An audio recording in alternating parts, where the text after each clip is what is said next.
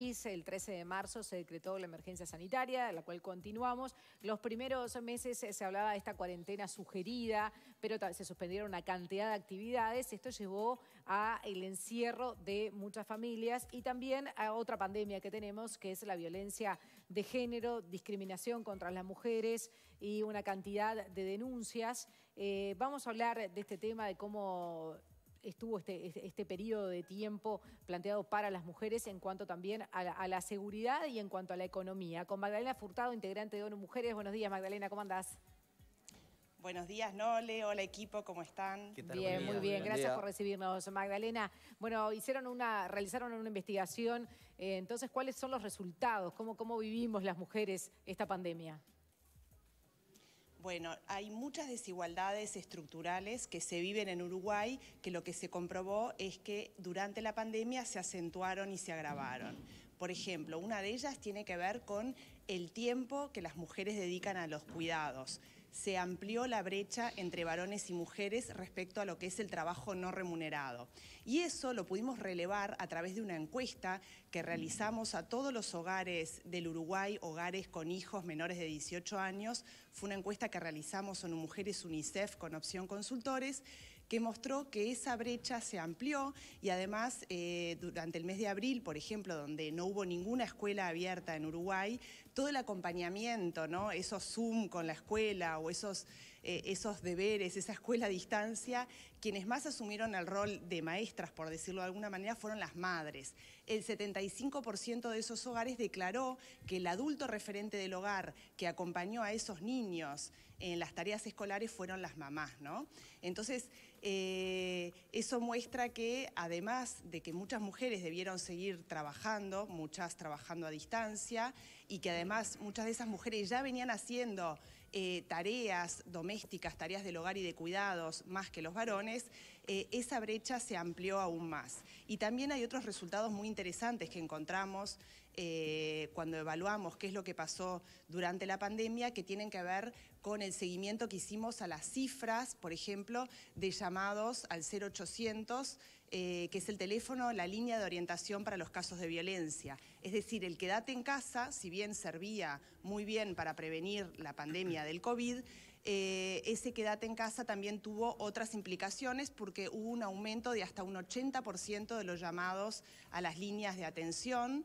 Eh, y además, eh, exactamente, y además los centros de detección de casos de violencia, que muchas veces son centros de salud o las propias escuelas, donde no, como que se ve la punta del iceberg, se detecta algo y luego se hace un seguimiento más en profundidad. Este, son espacios también de escucha, de atención, de recepción. Este, también esos centros estaban cerrados, ¿no? Entonces hubo como más dificultad para poder este, acercarse a esas eh, personas que estaban sufriendo violencia, porque recordemos que en Uruguay la mayor prevalencia de violencia es la que ocurre dentro de los hogares. Sobre todo con parejas y exparejas. Bien, o sea que, bueno, se aumentó en todo entonces la, desigualdad en cuanto a las tareas de la casa, que ya eso viene dando sus números, pero cuando el encierro y hay que hacerlas eh, con los niños entonces, al cuidado y también ejerciendo de maestras, al cuidado de adultos mayores, eso también supongo. Sí, sí, sí. Nosotros encontramos, incluso hicimos un estudio y un análisis por nivel educativo eh, de los adultos del hogar. ¿Y qué es lo que encontramos? Que esa brecha aumentó sobre todo más en los hogares con menor nivel educativo. ¿Qué quiere decir? Que ahí en esos hogares, por ejemplo, vimos que el varón del hogar prácticamente no aumentó las horas destinadas al trabajo no remunerado y que la mujer fue la que absorbió el 100% de la mayor carga de los cuidados. ¿no? En el nivel educativo medio y Sí, en el nivel educativo medio y nivel educativo alto aumentó eh, la carga de trabajo tanto para varones como para mujeres, pero, este, pero bueno, pero aumentó más para las mujeres. Claro. Eh, Magdalena, ¿qué es lo que pasa con el trabajo remunerado? ¿Hubo más mujeres en seguro de paro que hombres? ¿Hay algún dato respecto a eso? De, al momento de tener que mandar personas a seguro de paro, ¿qué eligieron las empresas o despidos? Sí, bueno, esa pregunta me parece sumamente interesante porque justamente tiene que ver con una de las conclusiones que también sacamos en el estudio, en la encuesta, cuando preguntamos sobre qué pasó con el trabajo remunerado con los adultos del hogar, ¿no? Y ahí concluimos, si bien hay sectores donde el impacto para las mujeres fue mucho mayor, por ejemplo, servicios personales, servicio doméstico, comercio, turismo, eh, porque sabemos que en abril este, mucho de, la actividad económica estaba muy restringida en esos sectores, también por otro lado sabemos que hay más mujeres, por ejemplo, en empleos públicos o en otro tipo de trabajos, entonces en ese sentido hubo cierto tipo de balance desde los sectores que se vieron más afectados con otros que no tanto. Pero hay una conclusión que a mí me resulta muy interesante, que es que cuando miramos... Eh, eh, en, horas de trabajo o en modalidad de trabajo, quienes hicieron los mayores cambios o ajustes fueron las mujeres, ¿no? Entonces, creo que hay una pregunta que todos los uruguayos y uruguayas debemos hacernos, si eso responde solo a condiciones de la oferta, ¿no? de los sectores que se fueron más afectados, cómo afectaron diferente a las mujeres o a los varones, o si también depende de decisiones en el seno del hogar. ¿no? Las estrategias que hacen los hogares, por ejemplo, las dos personas tienen que tomar decisiones respecto a su trabajo remunerado y bueno, y ya como por defecto, porque está normalizado que son las mujeres que tienen que quedarse cuidando a los hijos y si los hijos no tienen escuela, este, se asume que va a ser la mujer. Y entonces notamos que hay este, mayor reducción de horas trabajadas para las mujeres y además aumenta la modalidad de las mujeres trabajando a distancia, es decir, trabajando desde sus hogares. Esa es una conclusión que, bueno, no podemos este, tener claridad si es solo debido a la oferta o también a, las necesidades y, a las estrategias que han tomado los hogares. Es decir, no, hay un dato, no, lo midieron para poder este, explicarlo. Bueno, lo que pasa es que, las estrategias que hacen los hogares, este, o sea, nosotros vemos el hecho, el resultado. Vemos que hay más mujeres que trabajan desde la casa y que hay más mujeres que redujeron sus horas de trabajo remunerado. Eso lo vemos, es un hecho. No sabemos cuánto se debe a que es porque ese sector le permitió, por ejemplo, trabajar desde la casa o le no tenía otra opción, o porque al, tener, al poder elegir esa flexibilidad de trabajar desde la casa, se optó que en vez de que sea el varón el que se quede en la casa, sea la mujer porque los hijos estaban allí. ¿Se entiende? O sea, vemos el hecho, el dato de la realidad lo vemos. Hay más mujeres que tuvieron que trabajar desde la casa. Y por eso es que para mí un ejercicio como capaz que muy, muy bueno, muy... Eh, anecdótico es que si uno, por ejemplo, pone en Google, pone las palabras conciliar trabajo y cuidados durante COVID, a, mí me salieron 20 imágenes que eran mujeres con, nene, con, hijos y solo una imagen de un padre con un hijo. Entonces, eh, sí, no, te quería preguntar eh, hasta dónde pueden profundizar o podemos un poco analizar o, pensar en voz alta eh, si estas decisiones en el fondo las toman las empresas, las toman las familias, es la sociedad toda que tiene esa lógica de de pensar cómo distribuir las tareas y entonces si había que quedarse con los niños en la casa, tenía que ser la mujer. Bueno, creo que eso está permeado en toda la sociedad, o sea, está, eh, eh, eso está como muy normalizado desde las empresas, ¿no? los empleadores, por eso es muy importante trabajar con las empresas, pero también eso está eh, normalizado también muchas veces desde los sindicatos, ¿no? Cuando los sindicatos van a incorporar en las negociaciones cláusulas de género, ¿no? La idea es que cuando se, beneficie eh, o se pongan cláusulas que puedan atender al cuidado ¿no? de los familiares. Suponete, si algún trabajador tiene una persona con discapacidad, se le dan tres días de licencia al año, un ejemplo que esa cláusula sea para varones y para mujeres, porque muchas veces se viene ya con, con la preconcepción de que eh, eso es para las mujeres o que las licencias por cuidado son para las mujeres.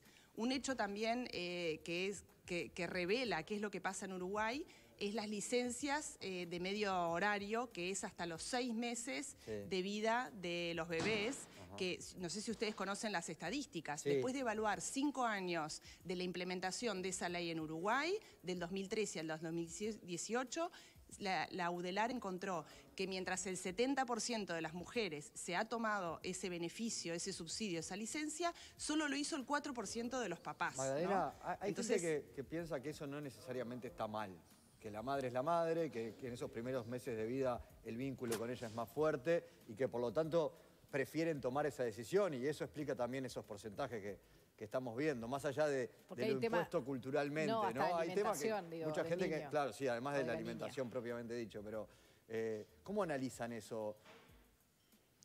Bueno, ¿cómo analizamos? Yo creo que la decisión tiene que ser absolutamente libre, pero tiene que haber conciencia también de esa decisión. Es decir, eh, las mujeres y los varones eh, pueden optar y pueden acomodar las estrategias según lo que más le convenga en el seno de sus hogares.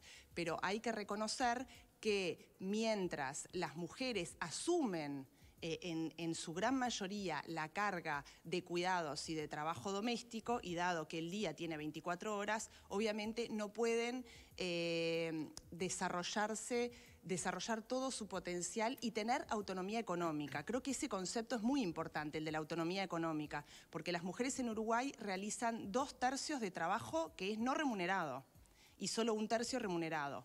Los hombres es absolutamente al revés los hombres realizan dos tercios de trabajo remunerado, pago, es decir, que tienen autonomía económica. Entonces, muchas veces eso eh, le genera obstáculos a, las mujeres no tener autonomía económica. Por ejemplo, la violencia y la autonomía económica para mí son dos caras de una misma moneda. Entonces, creo que hay que dejar de normalizar que si se tienen hijos, el cuidado lo tiene que asumir eh, en un 99% las mujeres. Hay que dejar de normalizar que si durante COVID eh, hay que ajustar y hay que acompañar a los hijos en las tareas escolares, lo pueden hacer tanto la mamá como el papá. obviamente estamos hablando de hogares donde estén este, dos figuras presentes. Este, hay que dejar de normalizar ¿no?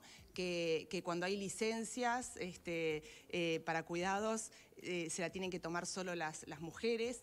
Hay que dejar de normalizar un montón de cosas en la sociedad para que simplemente para que ambos sexos, mujeres y varones, puedan desarrollar también su potencial y tener autonomía económica. En los países desarrollados, por ejemplo, eh, eso es, eh, es, más común, es más común ver que los papás se toman licencia paternal o, licencias de medio horario durante mucho más tiempo y, y no está como, yo creo que acá en Uruguay tenemos esa concepción, por ejemplo, de que si el papá se queda en casa y la mamá sale a trabajar, comúnmente, eh, bueno, hay adjetivos que se dicen... Mala madre. Ella lo mantiene, ella lo mantiene, ella es mala madre, él es un pollerudo. Todas esas cosas que, digo, no estoy diciendo nada... Exactamente. Y, creo que es como cambiar el chip de a poco, por supuesto, porque creo que cuando son pautas culturales que están muy arraigadas, es como que cuesta este, ir acostumbrándonos, pero tenemos que ir hacia una sociedad más igualitaria. Eh, digo, eso es clarísimo, es clarísimo eh, en todos los ámbitos, porque la crianza, eh, las tareas domésticas no pueden solo ser cargadas por las mujeres. Y por eso creo que el sistema de cuidados del que tanto se está hablando hoy en día en Uruguay es crucial, porque el sistema de cuidados, además de generar empleo este, formal, ¿no? que mejora las condiciones de empleo de cuidadores y cuidadoras, lo que está haciendo es repartir esa carga de cuidados entre estados, este, familias eh, y mercado, y además de, tratar de, de generar esa idea de corresponsabilidad, de repartirla entre varones y mujeres. Si no, por defecto la carga la tienen en su mochila las mujeres. Bien, Magdalena, por último es con estos resultados de esta encuesta, eh, en comparación, ¿cómo estamos eh, frente a la región en Uruguay? Bueno, por lo general, este, Uruguay, en, términos de las brechas de género, no está muy alejado de las cifras que se ven en la región de América Latina. En primer lugar, respecto a violencia, sabemos que América Latina es la región del mundo que experimenta mayores tasas de violencia hacia las mujeres. ¿no? Es un fenómeno este, bien de la región, ¿no? la violencia hacia las mujeres. ¿Y qué es lo que vimos durante la pandemia? Que todos los llamados a las líneas de emergencia este, y el número de femicidios aumentó. ¿no? Este, entonces creo que, y, que la tasa de denuncias, o sea, las denuncias formales, concretas ante las autoridades correspondientes, bajó un poco porque menos mujeres llegaron a hacer esa denuncia, ¿no? Pero sí, este, el aumento del confinamiento en todos los países de la región provocó mayores riesgos este, y provocó mayores pedidos de atención eh, ante la emergencia sanitaria en este tema. Respecto a las tareas de, cuidados que tuvieron que asumir este, los hogares, también claramente eh, las mujeres fueron quienes más cargaron eh, con esa repartición de, lo que tuvieron que absorber de la escuela de los hijos, de, bueno, que ahora eh, toda la atención que requiere tener la presencia de niños y niñas en casa. El análisis que hicimos nosotros fue solo el análisis de hogares, repito, con hijos eh, de hasta 18 años de edad. Incluso la encuesta que relevamos, dividimos la edad de los hijos, ¿no? porque dependiendo de la edad de los hijos es que tienen como diferentes necesidades de atención. Y bueno, y claramente este, los más pequeños son los que demandaron más eh, atención dentro del hogar. Bien, Magdalena Furtado, muchísimas gracias por este contacto y toda la información. Muchas gracias a ustedes. Que tengan buen día. Igualmente, las órdenes.